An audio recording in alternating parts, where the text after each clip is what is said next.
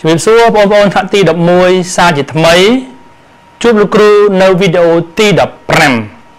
លោកគ្រូឈ្មោះរនសរិទ្ធបង្រៀននៅវិទ្យាល័យព្រះស៊ីសវត្តសាលារៀនចំនួនថ្មី សូមស្វាគមន៍មកកាន់ថ្នាក់ដូចជាចឹងវីដេអូមុនយើងរៀនអំពីរូបមន្តកន្លះមុំមានសរុបទាំងអស់15រួមទាំងរូបមន្តមុំឌុបផងដែរតែយើងអត់តានកែឧទាហរណ៍ទេអញ្ចឹងថ្ងៃនេះ លោកគ្រូនឹងយកលំហាត់ខ្លះដែលប្រើប្រាស់ទាំងរំមុនមុំដប់ប្រើប្រាស់ទាំងរំមុនកន្លះមុំមកប្រាប់សង្ឃឹមថាបងប្អូនទទួលចំណេះដឹងទាំងអស់នេះតោះឥឡូវលំហាត់របស់យើងជាប្រភេទលំហាត់ទាំងដូចម្ដេចសូមទៅមើលទាំងអស់គ្នា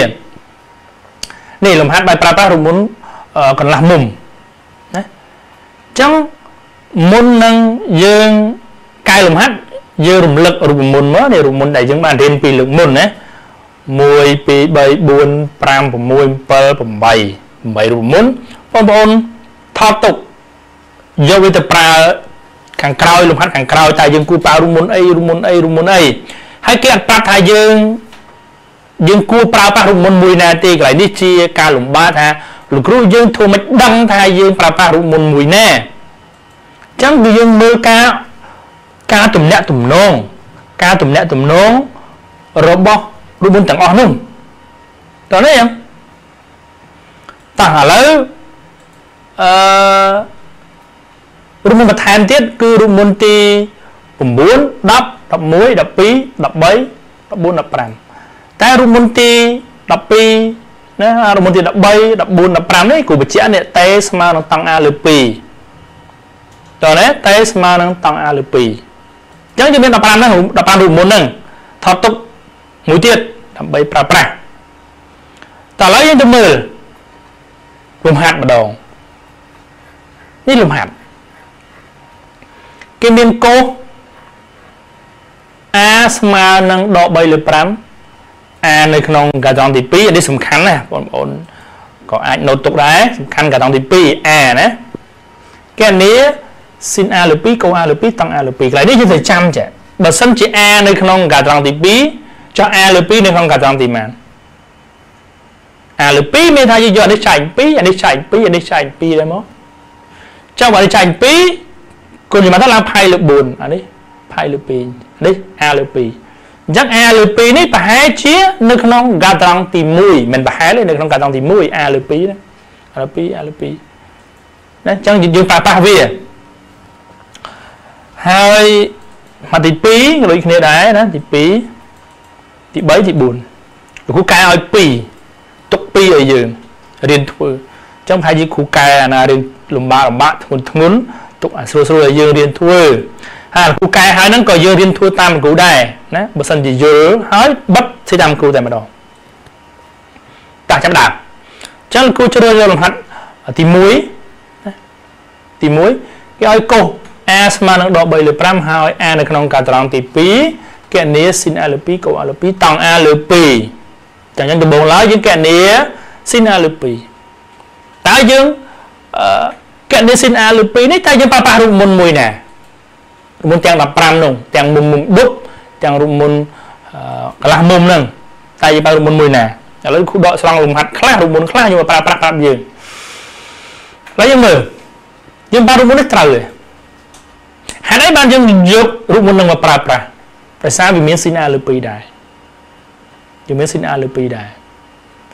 អញ្ចឹងយើងទៀតហ្នឹងយើងស្គាល់កុស A លើ2អត់យើងស្គាល់ស៊ីន A អត់អញ្ចឹងនៅក្នុងចំណុចដំណងមួយបើសិនជាយើងអត់ស្គាល់ទាំងពីរគឺយើងមិនអាចប្រើប្រាស់បានទេអញ្ចឹងរូបមុននេះយើងប្រើប្រាស់វាអត់ទាន់បានទេតែយើងប្រើប្រាស់លំហាត់ហ្នឹងអត់បានទេដោយសារឯគេសួររកស៊ីនហើយគេប្រាប់កុសចេះរូបមុននេះអត់ប្រើទេចេះរូបមុននេះទៀត រូបនេះមាន sin a លើ2ដែរ sin gray a លើ2ខ្ញុំអាចទាញក៏ប៉ុន្តែកុស a យើងស្គាល់តែអាកុសនេះកុស gray a លើ2យើងស្គាល់អត់អត់ស្គាល់ទេយើងស្គាល់មួយអត់ស្គាល់មួយហើយនេះអត់ស្គាល់ទាំងពីរហ្មងកុស a លើ2ក៏ស្គាល់ sin a ហ្នឹងក៏អត់ស្គាល់នេះអានេះស្គាល់មួយតែអត់ស្គាល់នេះអញ្ចឹងតាក់តងទៀតតង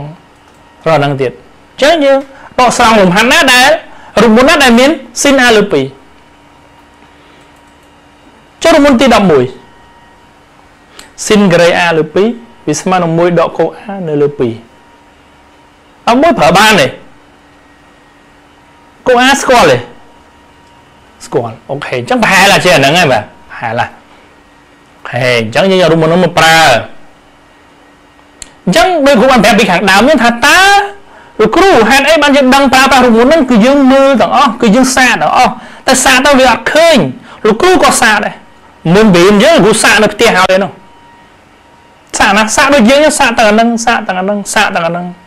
អាណាចេញលោកគ្រូយកមកប្រាប់យើងណាហើយយើងតោះយើងសាកដូចលោកគ្រូតោះអញ្ចឹងធ្វើម៉េចទៀតលោកគ្រូបោះការ៉េមកបោះការ៉េមកមានរឹសចឹងបញ្ជាក់សារដើមថា a លើ2នៅក្នុងកាតង់ទី1មិនមែននៅក្នុង គេប្រាប់ a នៅក្នុងកាតង់ទី2ក៏ប៉ុន្តែយើងមិនមុំ a ទេគឺ a លើ2អញ្ចឹងយើងចែក2ទៅកាតង់ទី1 sin មានសញ្ញាបូកវិជ្ជមានអញ្ចឹង1ដកកូ2 a 1ដកកូ a នៅលើ2ចន់តោះមកយើងធ្វើតម្លៃកូសចូលស្មើអីយើងនេះកូសស្មើប៉ុន្មានកូសកូសស្មើប៉ុន្មានកូសនេះនេះកូសស្មើដក3លើ5ចឹងជំនួសតែកន្លែងកុសនេះទេលឿនអត់មានលេខប្រែប្រួលទេណាចឹងមកយើង ចឹងកុសដក3លើ5អាសញ្ញាដកនេះបាត់ហើយសញ្ញាដកនេះបាត់ហើយចឹងសល់3លើ5 3ការ៉េ9 5ការ៉េ25ចឹងស្មើអីហើយចឹងសញ្ញាដកខាងក្នុងនេះបាត់ហើយ9លើ25ចឹងតម្រូវភាពបាយអាលើទៅ2កំអានគិតតម្រូវភាពបាយអាលើទៅវាស្មើនឹង25ដក9 16លើ25គុណចម្រាស់ទៅស្មើអីជើគុណចម្រាស់ទៅស្មើនឹងស៊ីន អាលើ2នឹងស្មើនឹង2ឬ2លើ2នេះគុណចម្រាស់លោកគ្រូបញ្ចេញរួចជាស្រេចហើយតើនេះចេញរួចហើយចាប់ស៊ីនមួយរកអីទៀតលំហាត់យើងរកអីគេទៀតណាគេនេះកោសទៀតកោស A លើ2កូ A លើ2ដូចគ្នាដែរយើងប្រើរូបមន្តមួយណាស៊ីន A លើ2កូ A លើ2នៅក្បែរគ្នាណារូបមន្តមួយណាអញ្ចឹងរូបមន្តដែលយើងប្រើប្រាស់រូបមន្តនេះណាកូការ៉េ A លើ2ស្មើនឹង1បូកកូ A លើ2 អាពីរនេះខុសគ្នាទៅសញ្ញាបូកសញ្ញាដកឯងស៊ីនសញ្ញាដកកូសញ្ញាបូកអញ្ចឹងប្រើរូបមន្តហ្នឹងហើយបោះបោះការ៉េមកដូចគ្នាកូកុំច្រឡំថាបើ A នៅក្នុងកាតង់ទី2កូមានតម្លៃអវិជ្ជមាន តែនេះ A លើ2 A លើ2តម្លៃ A ឬ P នៅក្នុងកាត្រង់ទី1ទេណាយើងយកយើងយកអាកាត្រង់ចែកនឹង2ទៅណា ដូចគ្នាដែរខុសសញ្ញាបូក1ទេអញ្ចឹងចំនួនចូលទៅដក3លើ5ដដែលទេសម្រាប់ការ៉េចុះ3 9 25តម្រូវភាគបែងគុណចម្រាស់មកចឹងកុស A លើ2ស្មើរឹសនៃ17លើ5បញ្ចេញឲ្យហើយមានយើងគុណចម្រាស់ហើយបើចេញពី radical មកគឺស្មើប៉ុណ្ណឹងតោះនេះយ៉ាងទៅចាប់នៅយើង អញ្ចឹង sin a លើ2រកឃើញហើយកុស a លើ2ក៏រកឃើញដែរនៅឲ្យទៀតយើងតង់ a លើ2អញ្ចឹងតង់ a លើ2អត់បញ្ហាទេអត់ចាំបាច់ប្រើប្រាស់រូបមន្តអីផ្សេងព្រោះអ្នកម្ដង sin លើកុសនេះតង់ a លើ2ស្មើ sin a លើ2នៅលើកុស a លើ2អញ្ចឹងយើងស្មើឲ្យយើងរំលាយចូលមកយើងស៊ីនអាលើ2 2ឬ5លើ2ឬ2លើ5នេះស៊ីនកោសស៊ីនរបស់យើងនៅឆ្លាយមុន ហើយកោសឬ17លើ5សម្រួល5ចោលហើយគុណបំបត្តិអរិកាវិភាគបែងអីហោហែមកគឺស្មើនឹង2ឬ34លើ17អញ្ចឹងនៅទី11បើសិនជាបងប្អូនអត់ទាន់ចេះអានេះទេវឹកហាត់សារឡើងវិញណាវឹកហាត់សារឡើងវិញឬក៏មកជួបគ្រូសារលោកគ្រូឈ្មោះរនសរិទ្ធនៅ Facebook Facebook អញ្ចឹងសួរគ្រូគ្រូនឹងជួបគ្រូតែមួយខែគឺចេះអាហ្នឹងអញ្ចឹងតង់ A លើ2អញ្ចឹងប្រភេទលំហាត់ទី1ចាប់ណាអញ្ចឹងគ្រូកែឲ្យប្រភេទលំហាត់ទី4មួយទៀតមានមិនមានលំហាត់1 2 3 4គ្រូកែ1 4អូខេគេនេះតង់ A លើ2ដោយស្គាល់ sin A បុកក A ស្មើនឹង7លើ2ដែល A នៅក្នុងកាត្រង់ទី1 0ទៅផាយលើ6នេះណាក្នុងទី1ហេតុអីបានគេសេអញ្ចឹងវាមានហេតុផលរបស់វាណាឥឡូវយើងមើលយើងគឺប្រើប្រាស់រូបមន្តអីមកប្រើប្រាស់ ចឹងដាក់មកកណនីគេយើងកណនីតង់ A លើ2តែយើងប្រើប្រាស់រូបមន្តអីយើងមាន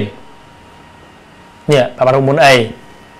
អញ្ចឹងយើងដឹងថាតង់ A លើ2មិញតតង់ A ឬ P មិញហ្នឹងខ្ញុំតាំងដល់អក្សរ T អញ្ចឹងប្រហែលជាគេប្រើប្រាស់ពាក់ព័ន្ធជាមួយនឹងអា T ណាចា T ហ្នឹង T ខ្លះទៅតែយើងមាន sin A បូកកូ A ស្មើនឹងឬដល់ R ឬ7ឬ2អាហ្នឹងគេឲ្យណាសមត្ថកម្មយើងយកវាមកប្រើប្រាស់ តែសំខាន់ដឹងថាតើ sin A យើងប្រើរមុនអីហើយកូ A ប្រើរមុនអីហើយសំណួរគឺសួររក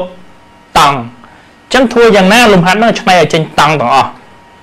តង់ A លើ2ឬក៏ខ្ញុំជំនួសតង់ A លើ2ដោយអក្សរតេក៏បានដែរ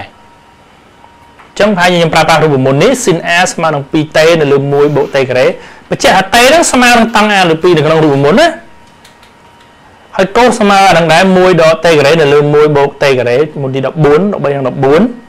តើមកខ្ញុំចំនួនឲ្យគេ sin a ហ្នឹងដោយម្ដុំនេះដោយ t ទាំងអស់ហើយកូស a ហ្នឹងដោយម្ដុំនេះតើណែអូខេខ្ញុំចាប់តាមចំនួនណាតាមចំនួនអូខេចឹងកន្លែង sin ប៉ុណ្នេះកន្លែងកូប៉ុណ្នេះនេះនៅដដែលអញ្ចឹងវាបាត់ sin កូអស់ហើយវានៅសល់តែអញ្ញត្តតេអញ្ចឹងបើសល់តែអញ្ញត្តតេយើងតម្រូវភាពបែងអីអីហោហែគុណពលាតគុណអីទៅដោះស្រាយសម័យកាល degree ទី2រកតេដោយសារវាមានតេការ៉េរកតេរកតេឃើញឃើញតង់ហ្នឹងហើយឧបមាចឹងក្រោយឃើញតេស្មើ1អញ្ចឹងតង់ A លើ2ស្មើ1ពីព្រោះអីពីព្រោះនៅក្នុងរូបមន្តហ្នឹងតែហ្នឹងគឺស្មើនឹងតង់ a លើ2នឹងឯងក្នុងរូបមន្តណាអូខេតែឥឡូវមកដល់កន្លែងនេះគឺមិនមែនយើងប្រើប្រាស់តែកោណមានទៀតទេគឺយើងប្រើប្រាស់ ក្បាច់គុណចាស់នៅមានទី10ទី9ដោយតម្រូវភាពបែងដោះស្រាយសម័យកាលដូចគឺទី2ចាប់ដើមអានេះអាចដាក់រួមបានពីបែងដូចគ្នានេះដាក់រួមបានដាក់រួមបាននឹងមើលមិនអាចជាចេញចឹងវិញនេះខ្ញុំសេចដកតេមុនដកតេការ៉េបូក 2t ហើយបូក1ហើយនេះខ្ញុំដាក់ភាគបែងរួមចុះមកប៉ុណ្ណឹង ហើយស្មើនឹងប៉ុន្មានយើងស្មើនឹងឬ72បន្តមកទៀតខ្ញុំបោះអាតែ1បូកអីតេក្រេហ្នឹងមកនេះណាបោះមកវាខ្លាយជាវិធីគុណនេះនៅដដែលនៅដដែលទេណាចឹងគាត់បោះមកនេះយើងមើលតាមដំណាក់កាលដំណាក់កាលតាមទៀតគ្រូគុណឬ7ឬ2ពលាតគុណពលាតណា1 1 ចឹងរឿង7គុណ1រឿង7រឿង7គុណតេការ៉េរឿង7តេការ៉េអង្គទី1នៅកណ្ដាលលេខទាំងណាបន្តមកលោកលើកវាទៅអង្គទី2ទាំងអស់លើកទៅអង្គទី2អង្គទី1ទាំងអស់លើកពីអង្គទី2ទៅអង្គទី1ដើម្បីឲ្យចូលរូបមុនសម័យកាលដេកទី2ប្រសើរតាមដែលតាណាចឹងលើកទៅដូរសញ្ញាផងណានេះសញ្ញាបូកលើកទៅដដាក់ឲ្យចំមកដ តេការ៉េបូក 2t ដល់បូក1ដកឬ7លើ2មកសូដកឬ7លើ2មកសូតើមកគាត់តែលើកអញ្ចឹងឯងតើមកគូសេឲ្យចូលរៀងសម័យកាល degree ទី2 ax ការ៉េបូក bx បូក ac ស្មើ0ចានេះគូទាញតេជាកតាទាញតេការ៉េជាកតាយើងស្មើអីគេយើងនេះគូទាញតេការ៉េមកអានេះតម្រូវភាពបែងទៅដក2 ដករឹង7លើ2នេះតម្រូវភាពបែងណា2គុណដក1ដក2ដករឹង7លើ2តេការ៉េ2តេនៅដដែលបូកនេះតម្រូវភាពបែងមក2ដករឹង7លើ2មក0ចឹងមានន័យថាមានន័យថាម្ដុំនេះម្ដុំនេះម្ដុំនេះបើសិនជាយើងដាក់ធ្វើតាមតែតាណាម្ដុំនេះម្ដុំនេះយើងម្ដុំនេះម្ដុំនេះ ម្ដុំហ្នឹងគឺអក្សរ A ខ្ញុំតាំងឲ្យអក្សរ A ហើយអាលេខ2នេះគឺអក្សរ B អានេះគឺអក្សរ C អាហ្នឹងបើចូលរៀងឲ្យគេបើចូលរៀង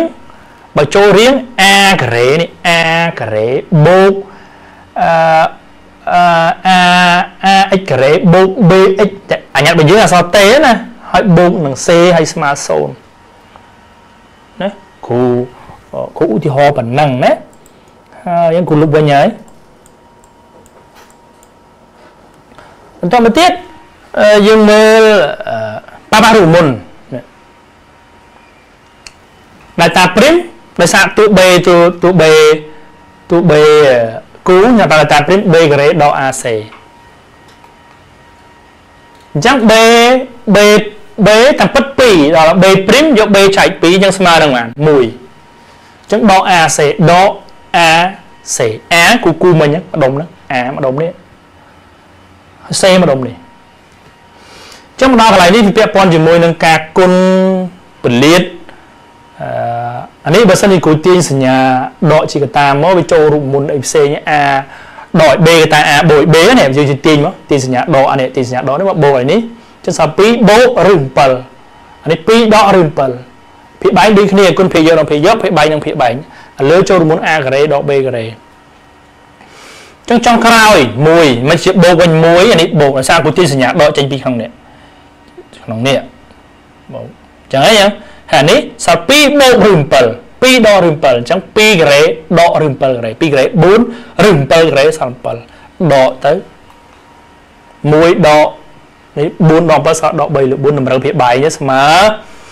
1លើ4ដែលតាព្រីមស្មើប៉ុណ្ណឹងដែលតាព្រីមណាតែប៉ុណ្ណឹងតែអងតែអងដក b ព្រីមបូកឬដែលតាព្រីមលើ a រូបមន្តណា b ព្រីម1ដែលតាព្រីមនេះ1លើ4 a ហ្នឹងអាធំហ្នឹង a ហ្នឹងម្ដុំនេះតើនេះនេះចំនួនចូលមកដបូកដក b ព្រីមបូកឬ delta ព្រីមនៅលើ a នេះ a ម្ដុំមកធំនេះណាអញ្ចឹងវាពាក់ព័ន្ធដល់ការយើងគុណចម្រាស់អីហូហែហ្នឹងគ្រូមិនលំអិតទេដោយសារនេះវាយើងរៀននៅក្រោមច្រើនទី9ច្រើនអាហ្នឹងណាតែគ្រូនៅតែ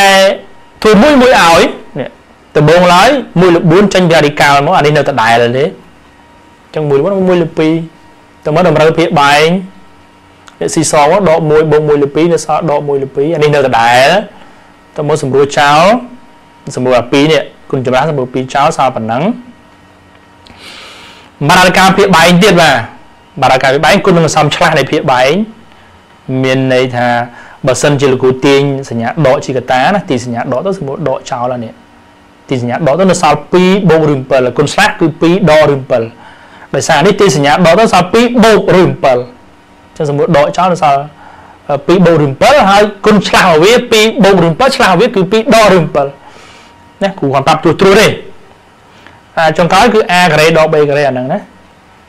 ចឹងតេអងរបស់យើងសល់ដក3 4ដក7សល់ដក3សម្រួលចុងក្រោយយកសញ្ញាដកវិញឡើងលើទៅដក2បូកឬ7លើ3នេះតេអងតេអងតើណាតេអងតែដូចដូចគ្នាបាទដក B' ខុសសញ្ញានេះមួយដក delta' លើ A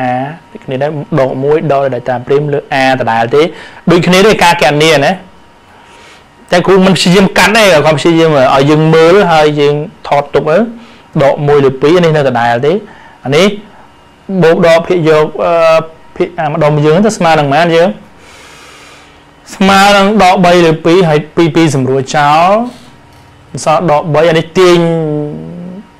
ទីសញ្ញាដកសម្រួលចោលទៀតមកអសល់ប៉ុណ្ណឹងនេះទីសញ្ញាដកសម្រួលចោលសល់ប៉ុណ្ណឹងហើយមិញគួរបានទាញតែមកយើងគុណសំឆ្លាស់ពីបាយទៀតមកស្មើអី3 អានេះហេតុអីបានសល់អញ្ចឹងដោយសារដក a បូក b តា a ដក b ស្មើ a ការ៉េដក b ការ៉េអញ្ចឹងសល់ដក3 3 3សម្រួលចោលចុងចម្លើយចុងក្រោយគឺដក2បូកឬ7តេឌឺអញ្ចឹងអាតេអងតេឌឺជាតម្លៃរបស់តង់ a ឬ2ក៏ប៉ុន្តែយើងយកមួយណាឬក៏យកទាំងពីរហើយយើងសង្កេតមើលបងប្អូននេះដោយដោយ a ធំជាង0ហើយតូចជាងអឺ ផាយលើ6នោះ a លើ2ហើយបានគឺយើងកាត់នេះ a លើ2ដោយសារយើងកាត់នេះតង់ a លើ2អញ្ចឹងខ្ញុំចែក7ហ្នឹង0ចែក2 0អានេះផាយលើ2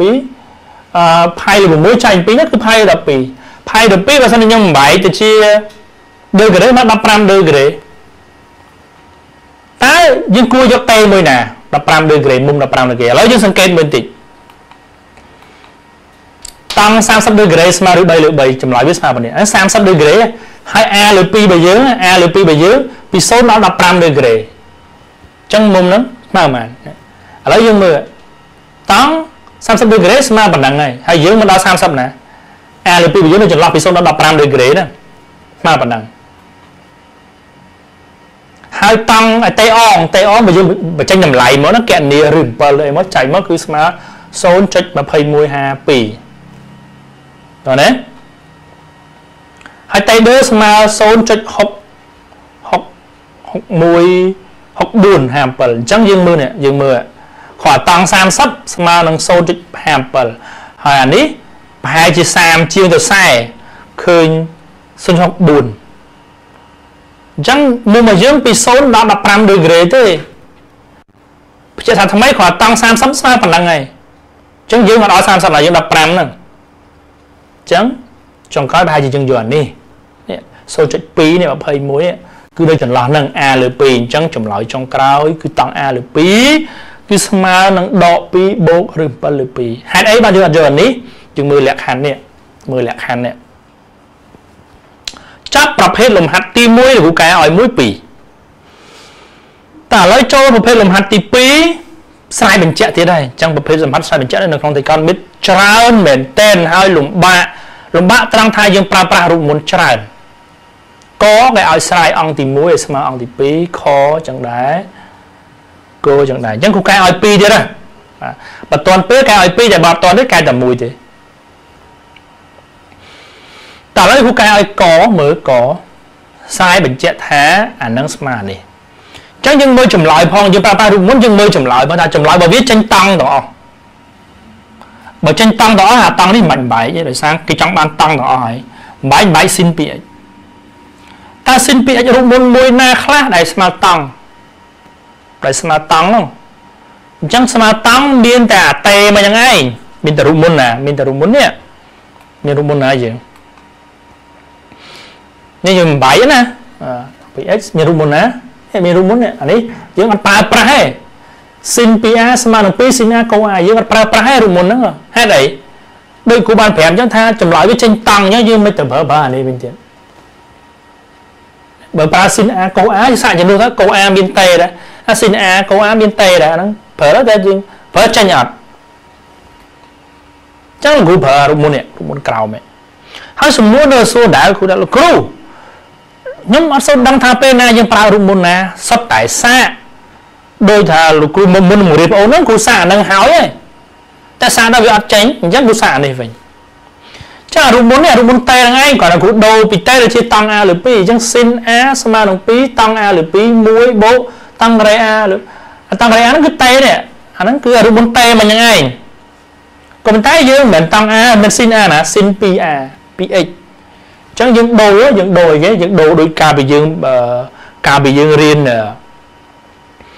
រូបមុនកន្លះមុំណាគឺយើងដូរ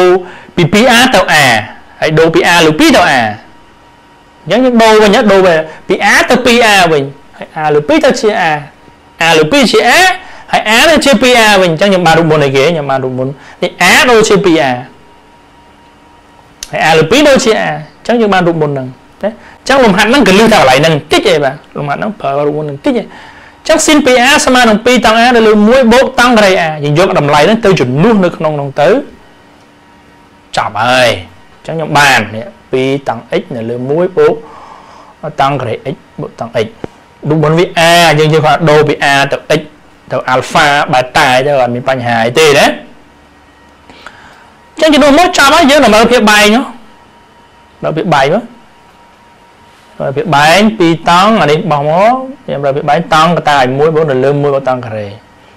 មើលបែងគុណបលៀតតង់ x តង់គុណ1តង់មិញហ្នឹងហើយតង់គុណតង់ការ៉េតង់គីបនៅលើ1ប៉ុណ្ណឹងអញ្ចឹង2តង់ x បូក1តង់ x បាន3តង់ x ចឹងតង់គីប x អានេះតង់គីប x អានេះបូកចូលគ្នានៅលើដដែលហើយទាញតង់ជាកតាមកទាញតង់ជាកតា ស្មើនឹង3បូកតង់ការ៉េ x នៅលើ1បូកតង់ការ៉េ x ប៉ិតអញ្ចឹងមានអីលំបាកមានលំបាកឯងតោះនេះចឹងចង្រោចប៉ិតបបាតាតាមុន sin 2x អញ្ចឹងគ្រូប្រើគ្រូសាកច្រើនច្រើនវិធីដែរសាករូបមុននេះសាករូបមុននេះអត់ចេញតោះសាករូបមុនហ្នឹងមិនចេញចឹងថាសំណួរសួរថាលោកគ្រូធ្វើមិនដឹងពិបាកហើយតើយើងរៀនធ្វើឲ្យច្រើនក៏អញ្ចឹងខ្ញុំសាកតែមួយផ្លែតខ្ញុំចេញឲ្យយើងតើរៀនសាកដោយលោកគ្រូដែរ តើប្រភេទលំហាត់ទី2តែបញ្ជាក់ថានេះ2 1នៅលើ sin 2x កូសតង់ 2x ស្មើចេញកូសតង់ហើយតង់អញ្ចឹងយើងនឹងស្រាយឲ្យអង្គទី1នេះស្រាយទៅមិនឲ្យចេញអង្គទី2ហើយបើយើងស្រាយយើងត្រូវមានអីបំបែកអញ្ចឹងដំបូងឡើយគ្រូបំបែកកូសតង់ 2x កូសតង់ស្មើនឹងកូសលើស៊ីនរូបហ្នឹងគូសេតម្លៃលេខ2មួយលើលើស៊ីនបូកកូស 2x នៅលើស៊ីន 2x បែរតែហ្នឹងឯងបន្ទាប់មកវាបែកដូចគ្នាដាក់រួមចោលដាក់រួមដាក់រួមចូលគ្នាមកដាក់រួមចូលគ្នាមកបាទ1បូកហើយ2នៅដដែលតើមករួមបាយរួមមុនអីគេយើងបាយរួមមុនកុស 2x កុស 2x ស្មើអីកុស 2x យើងរួមមុនណាមកប្រើរួមមុនមួយណាមកប្រើកុស 2x ច្រើនណាមាន3តែយើងរួមមុនណាមួយប្រើអញ្ចឹងដោយសារគេចង់បានតង់កុសតង់អញ្ចឹងប្រហែលជាយកស៊ីនមានស៊ីនមានកុសហ្នឹងតែណាឥឡូវគ្រូយកអាណាមកប្រើ នេះគ្រូយកកុសមកប្រើនេះស៊ីន 2x នេះនេះស៊ីន 2x ស៊ីន 2x វិញស៊ីន 2x នេះស៊ីន2 a កុស 2x កុស 2x ស្មើអីគេមិញអានេះអត់ដូរទេនៅដដែលទេគូដូរតែនេះមួយទេកុស 2x ស្មើ2កុសក្រេ x ដកឲ្យ1អញ្ចឹង1 1សម្រួលចោល1 1សម្រួលចោលនេះកុស 2x នេះយើងប្រើ3នេះកុស 2x នេះយើងប្រើកដាលណាប្រើកដាល បន្តមកមួយមួយសម្រួលចោលមួយមួយសម្រួលចោលនៅសល់2 2 2អានេះ2កោអានេះមាន2ស៊ីនទៀតគេបាយ2កន្លែងហ្នឹងបាយគេយើងបាយកន្លែងនេះគឺស៊ីនអាកោ 2x កន្លែងនេះស៊ីន 2x អញ្ចឹងកោ 2x ស្មើនឹង2កោក្រេ x ដក1កន្លែងហ្នឹងតែមើលវីដេអូមុនស្លាយមុនកន្លែងនេះស៊ីន 2x ស៊ីនវិញថា2ស្អីកោ x អញ្ចឹងដោយសារ2ខ្ញុំសម្រួលចោលទៅអានេះមួយមួយសម្រួលចោល2យើងចោលសល់2ដដែលទេសល់2ដដែលទេអញ្ចឹងកូសក្រេ x នៅលើ sin x កូស x សម្រួលកូសចោលមួយនៅសល់អីគេទៅកូស x នៅលើ sin x ចា៎យ៉ាងប្រើប្រាស់ទៀតប្រើប្រាស់អីគេប្រើប្រាស់កូស a ណាកូស a កូស a ស្មើនឹងកូសក្រេ a លើ2ដក sin ក្រេ a លើ2ណានឹងប្រើប្រាស់ sin a ឬក៏ sin x ស្មើអីគេយើង sin a ស្មើនឹង2 sin a លើ2កូស a លើ2រួមមុនទី8រួមមុនទី7ជំនួសចូលមកស្មើអីហើយ2នៅដដែល2នៅដដែលកូស x កូស x ស្មើនឹងកូស a របស់យើងនេះជំនួសទៅគាត់ដូរ x ទៅជា a ទៅកូសក្រេ a លើ2ដក sin ក្រេ a លើ2ណាកូស x 2ដដែលទេហើយ sin x អានេះជំនួសចូល sin a លើ2កូស a លើ2 2 2សម្រួលចោល2 2សម្រួលចោលណាហើយទៅមកទៀតចែកទៀតហ៎បាទ ផ្ដាច់ណាផ្ដាច់អានេះប្រធានលំហាត់ទេប្រធានលំហាត់ទេអញ្ចឹងផ្ដាច់ចេះសារលើផលគុណអញ្ចឹងអឺកូសរេអាលើ2ចែកឲ្យស៊ីនក្រេអាលើស៊ីនអាលើ2កូសអាលើ2ដកស៊ីនក្រេអាលើ2ស៊ីនក្រេចែកស៊ីនក្រេអាលើ2កូសរេអា2ផ្ដាច់ជា2ប្រភេទហើយសម្រួលកូសចោលហើយសម្រួលស៊ីនចោលអញ្ចឹងសម្រួលកូសកូសនៅសល់កូសមួយលើស៊ីនមួយនេះសម្រួលស៊ីនស៊ីននៅសល់ស៊ីនមួយលើកូសមួយ ចឹងចម្លើយចុងក្រោយ គឺកូសលើស៊ីនមកកូសតង់ x លើ2ស៊ីនលើកូសស្មើតង់ x លើ2ឆ្លើយថាពិតបាទអញ្ចឹងវីដេអូនេះមានប៉ុណ្ណឹងសម្រាប់បញ្ជាក់លំហាត់សង្ឃឹមថាបងប្អូនយកទៅធ្វើតាមហើយនឹងរៀនកែច្នៃខ្លួនឯងណាអញ្ចឹងជាប្រភេទលំហាត់ដែលប្រើប្រាស់រូបមន្តកន្លះមុំសូមអរគុណជំរាបលា